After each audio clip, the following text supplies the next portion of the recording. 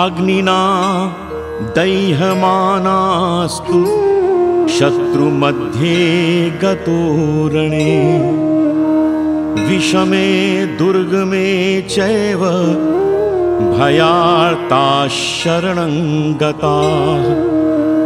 न तेषां जायते किञ्चित् अशुभं रणसङ्कटे।